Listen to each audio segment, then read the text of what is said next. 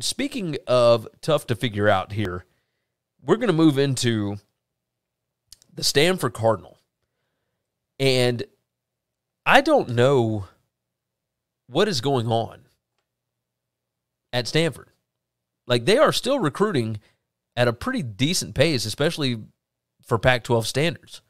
Like it, this team, when I pull up this graphic, it's just there's so much red. There's so much red, and red is not good on these graphics. Uh, their post game win expectancy last year was 2.82 and 9.18.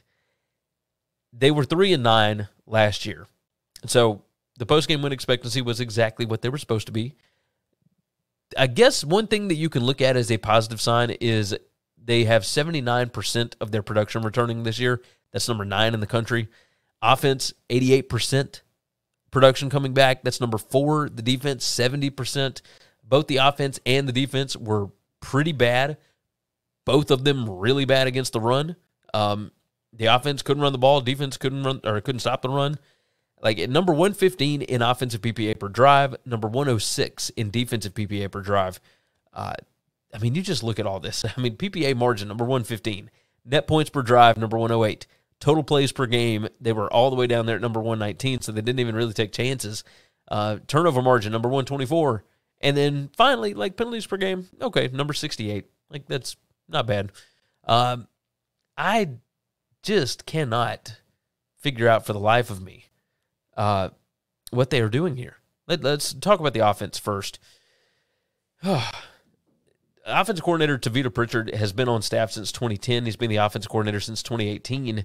Like, yes, you've got a lot of returning production here, 88%, in fact. But what does that mean for a team that was so bad? Like, just because you have players coming back does not mean immediate improvement. Like, if you bring back crap players, they're they're still likely going to be crap. So were these players crap, or was there something else going on? I understand, like the wide receiver Higgins, etc. Uh, McKee, even like they all missed time with injuries at certain points last year, etc. There were there were a lot of injuries. I get that, totally makes sense. But I, I mean, they were so bad, and I cannot figure out how to how to make them jump up. Right?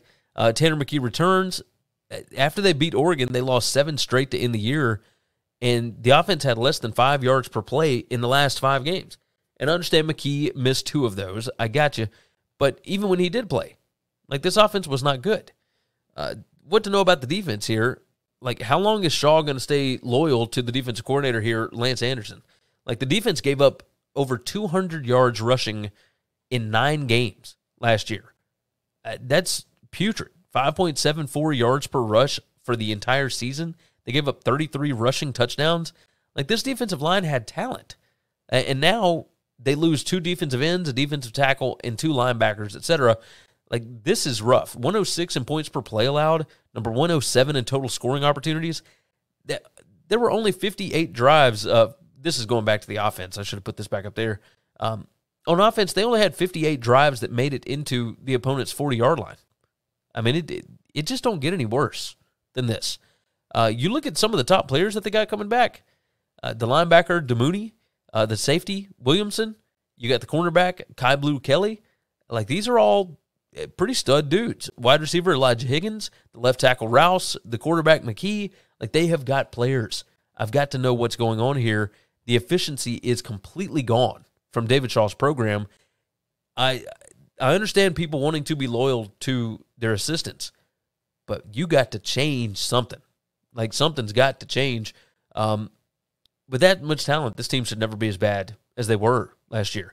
Fixing the turnover issue is probably going to help a lot uh, this year, but I mean, you got to be able to run the ball and you got to be able to stop the run.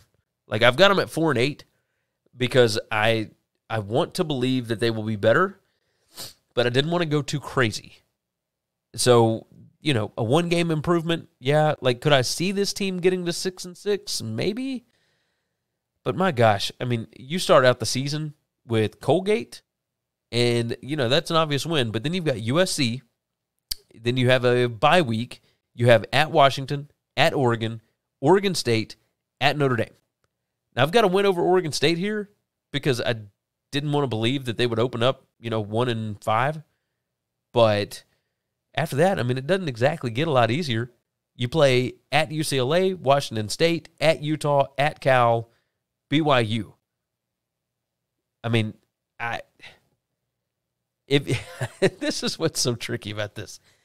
At Stanford, like you you already know that you haven't been very good for like the last what three years is somewhere around there. Like it's it, it, things have not been great. Why would you, if you already schedule Notre Dame in the non-conference every year, why would you ever add BYU? That just doesn't make any sense to me. Like, because I think that they're going to lose to BYU and Notre Dame this year, and then you've got that whole conference schedule where your road games are Washington, Oregon, uh, UCLA, Utah, and Cal. Like, I don't know that they're going to be favored in any of those. Like, this is just a, a tough situation here for Stanford. I've got them at four and eight. Maybe they'll do better. Like, I like Stanford. I've been to Stanford. I, I want them to do well. I like David Shaw. Yeah, I mean, he's an old school kind of guy, but I don't see uh, I don't see a lot of great things coming on the horizon for the Cardinals. Thanks for listening to the Winning Cures Everything podcast. The website is winningcureseverything.com, and if you want to connect with us, we're on Twitter at Gary WCE, at Chris B. Giannini, at Winning Cures, or you can email us, Gary at winningcureseverything.com or Chris at winningcureseverything.com. Subscribe everywhere you need to subscribe, and we'll see you soon.